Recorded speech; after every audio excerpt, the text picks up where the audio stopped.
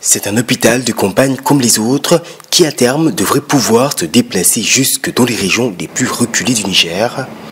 L'infrastructure, d'une capacité de 40 lits, a été financée par les États-Unis à hauteur de 900 millions de francs CFA. Son rôle, fournir des soins de santé aux militaires nigériens, mais aussi aux populations à travers le pays, avec un premier arrêt déjà trouvé.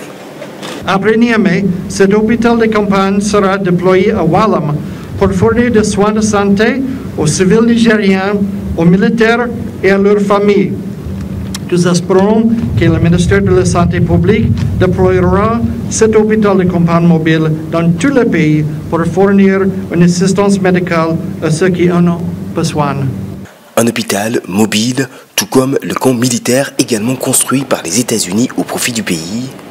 Autant d'infrastructures qui devront permettre à l'armée nigérienne de miser sur la mobilité dans le cadre de la lutte contre le terrorisme et la criminalité le long des frontières. La particularité de ce camp-là, c'est que en cas de besoin, vous pouvez le déplacer pour l'amener où vous voulez. Si vous voulez le déplacer, c'est un camp militaire comme plus grand que celui-là. Hein.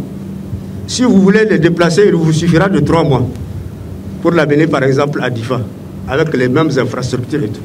La cérémonie a aussi été l'occasion d'annoncer la construction d'un nouvel hôpital régional dans la ville de Niamey la capitale, qui se prépare d'ailleurs à la réception d'un tout nouvel hôpital militaire, autant d'investissements pour mettre à jour le système sanitaire du pays.